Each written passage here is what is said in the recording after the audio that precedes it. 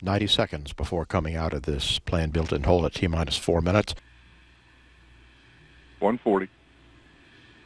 Launch enable. LC switch to ready position. Electrical systems, airborne. Go. Ground. Go. Facility. Go. RFFTS. Go. Flight control.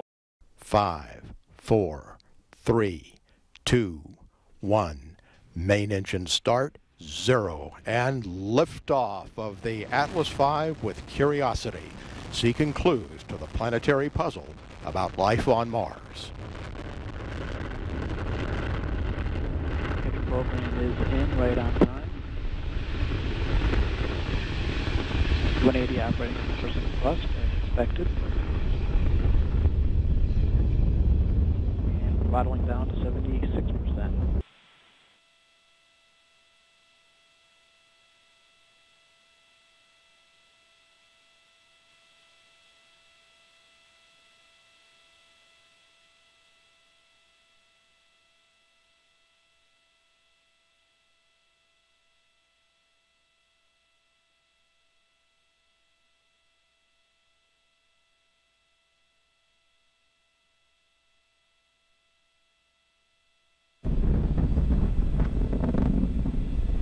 And we pass through max Q.